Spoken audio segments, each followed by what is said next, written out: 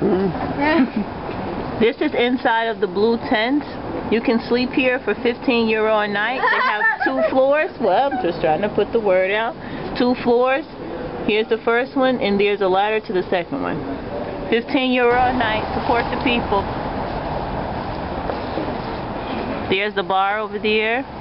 There's the crane that the city is going to be removing from here in about five months. And here's, what'd you say this building was again? That's uh, a museum, A museum, modern art. modern art museum. And That's the port. there's the port. And there's Antwerp.